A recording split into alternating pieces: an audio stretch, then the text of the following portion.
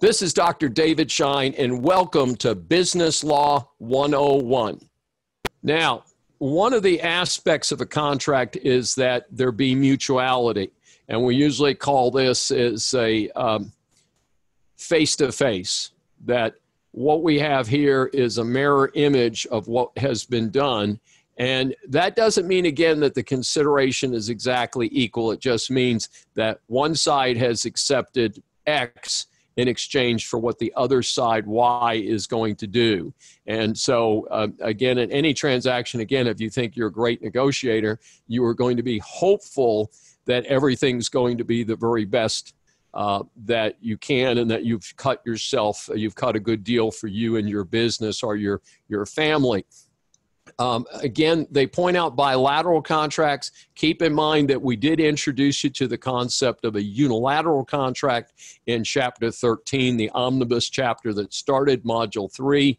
But uh, we really don't like anything other than written bilateral contracts that say, we do this, you do that. That's what we want as business people. Now, what about the way the deal works. So there's a few a few things that will not help you in terms of uh, making a contract enforceable. Uh, take a look at some of the concepts discussed here.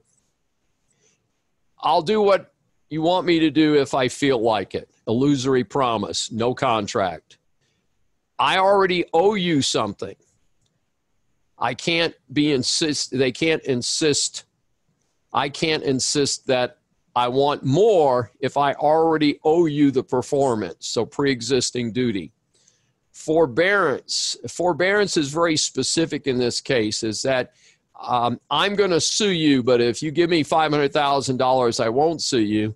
And it turns out that you've got no legal case anyway. So if you have no legal case, you're not forbearing anything, you're not giving anything up. So that doesn't work very well.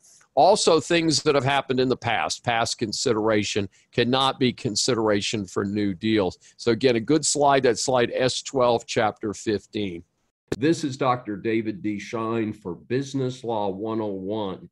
If you've enjoyed this episode, please subscribe on your favorite platform.